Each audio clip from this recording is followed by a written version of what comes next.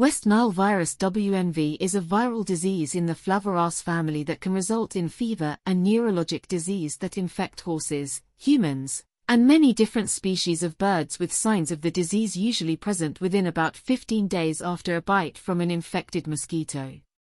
The signs of the disease are fever, incoordination, hind end weakness, depression, anorexia, muscle tremors, teeth grinding, inability to swallow, head pressing, excessive sweating, behavior changes and down and unable to rise.